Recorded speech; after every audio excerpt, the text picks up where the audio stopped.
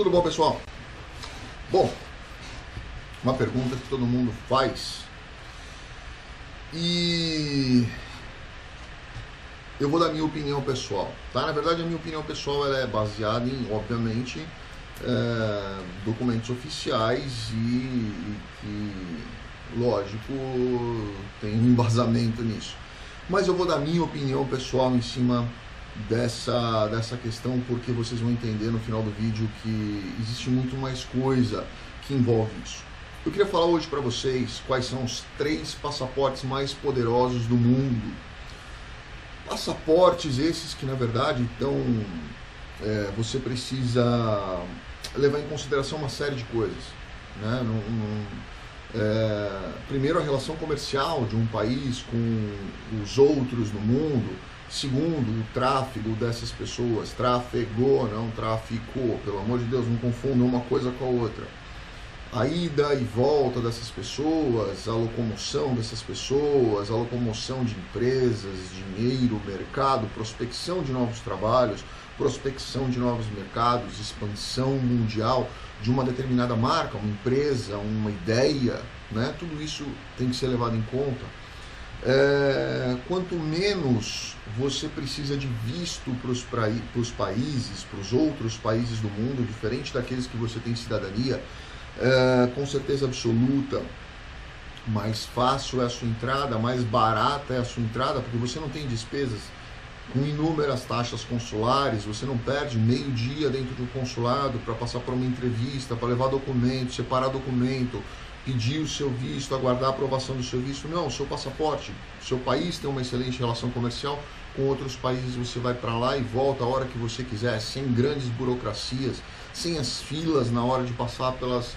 alfândegas, né, pelas, pelas, pelas, pelos agentes de imigração, sem ter aquele milhões, aquelas, aqueles milhões de perguntas. É, você já tem ali uma entrada previamente pré-aprovada. Não quer dizer que você não possa ser checado pelo agente de imigração. Todo país é soberano, lógico. O país pode olhar para você e falar assim: não, não, você não vai entrar. Não, mas eu tenho meu passaporte. Pega seu passaporte e volta para o seu país. Você não vai entrar mas já é uma pré-aprovação, entre aspas, o que realmente abre muitas portas, principalmente para pessoas de negócio. Quando você quer olhar um horizonte maior, você começa a enxergar o mundo de uma forma mais macro, você consegue é, enxergar negócios acontecendo do outro lado do mundo e consegue prospectar, pegar esse negócio aqui, já jogar lá e começar a imaginar como que isso pode é, realmente se alastrar dentro de um país, dos seus vizinhos, de um continente, né? Então, isso é muito importante para quem pensa em relações internacionais, para quem pensa em negócios internacionais, para quem pensa é, num, num, mercado gigante e não simplesmente restrito àquela, àquela cidade que você está, naquele país em que você está, naquele comérciozinho que tende a, a atender um bairro. É, eu tento sempre passar para as pessoas que o mundo é imenso. Basta você colocar isso na sua cabeça e conseguir ampliar a visão de que esse mundo é imenso, que o seu negócio, por menor que ele seja, ele pode sim dar certo e vender muito num, num, outro país, num outro lado do mundo. Tem pessoas querendo o seu produto, a sua ideia, a sua, o seu know-how. Né? Basta você realmente querer que as pessoas conheçam isso, certo? Uh, vamos falar dos piores passaportes do mundo. Eu, eu não fiz essa pesquisa dos piores, eu fiz dos melhores, tá? Mas eu vou falar dos piores, com certeza. A Síria, Paquistão, Afeganistão são os países que menos têm relações comerciais no mundo, porque na verdade você não pode pensar em um único referencial. Você tem que pensar num referencial macro. Então, vamos dizer, a Síria ela tem problemas com seus vizinhos, mas na verdade os vizinhos têm os seus aliados, entre eles os Estados Unidos. Os Estados Unidos têm outros aliados, ou seja, é mais ou menos aquela história de mexeu com um, mexeu com todo mundo. Né? Isso é mais ou menos assim que funciona com a questão dos aliados. Então, hoje, a Síria, Afeganistão, Paquistão são países que têm aí a sua é, intrínseca, não vou dizer externada, não vou generalizar, mas tem ali uma, uma, uma ligação com o terrorismo, tem ali às vezes até um financiamento vindo de, de entidades terroristas, o que é péssimo para qualquer reputação de qualquer país, quando você não consegue controlar algumas coisas. Ó, fica um alerta para o Brasil.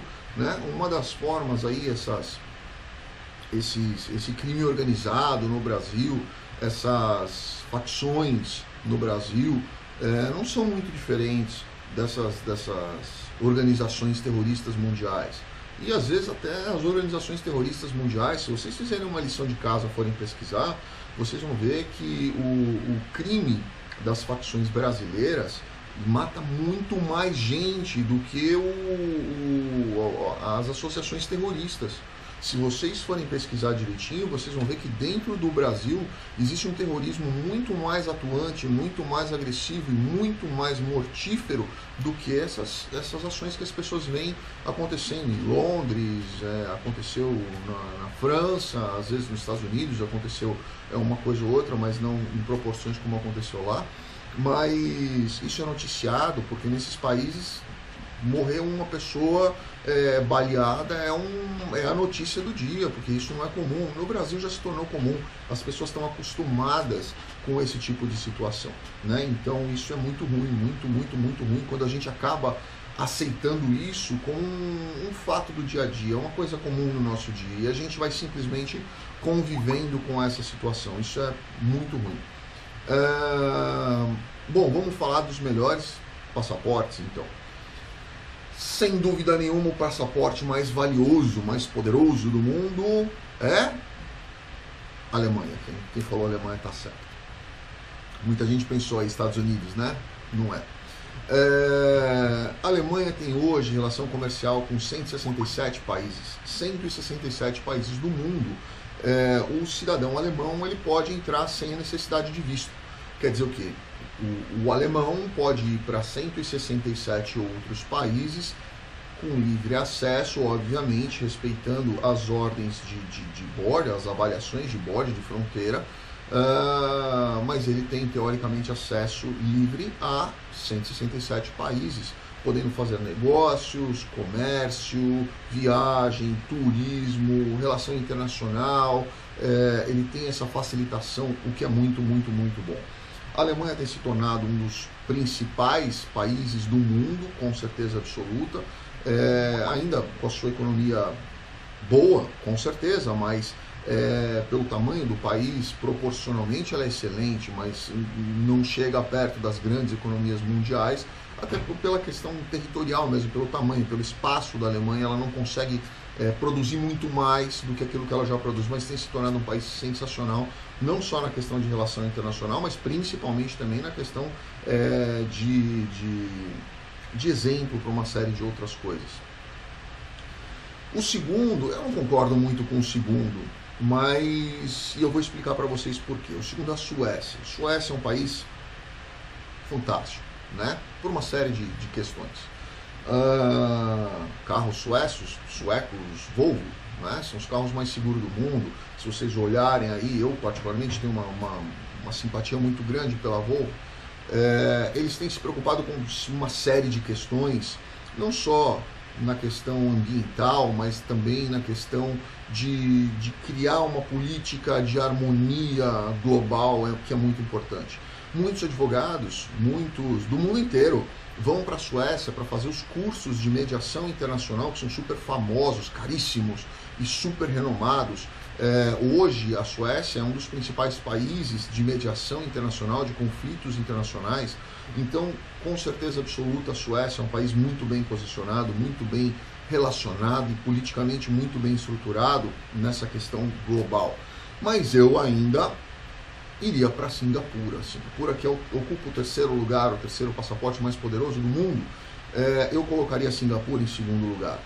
Tem também é, 165 países é, que estão liberados de visto para o cidadão da, da, de Singapura poder entrar, sair, fazer suas relações comerciais.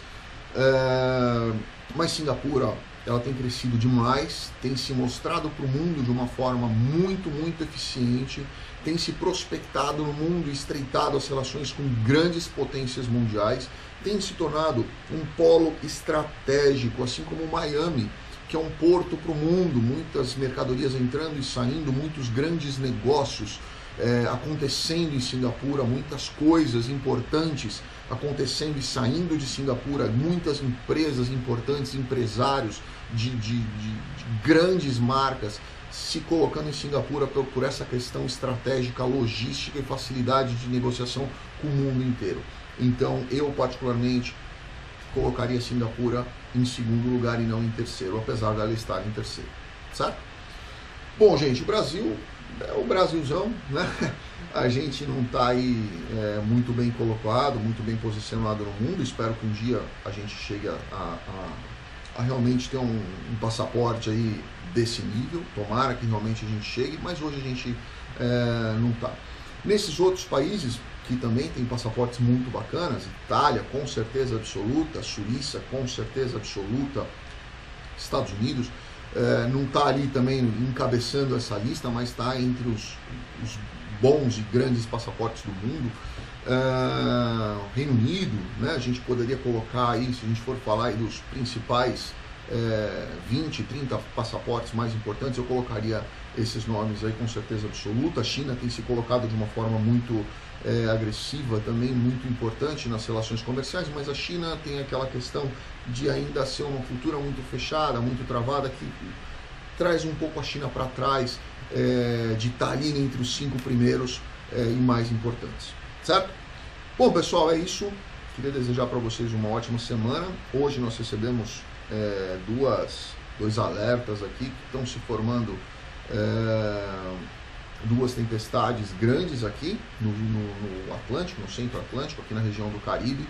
É, não acredito que nenhum deles vai passar aqui sequer perto da gente. Esse ano, já havia falado isso lá atrás para vocês, é, esse ano promete ter uma, uma, uma temporada aqui de tempestades mais forte do que o normal por uma série de, de, alterações climáticas aqui que não tem nada a ver com o Trump, que hoje é tudo culpa do Trump. O Trump tem feito algumas coisas aí que eu realmente acho que ele, ele perdeu um pouco a mão, eu acho que ele está exagerando um pouco em algumas coisas, mas hum, as tempestades não tem nada a ver com o Trump.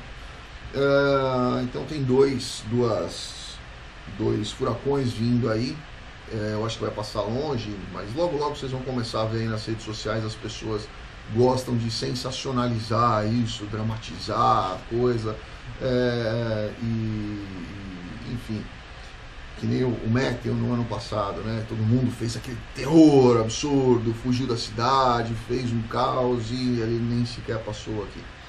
Então, mas é isso, pessoal. Quero agradecer a vocês. Fiquem com Deus. Uma ótima semana. Obrigado.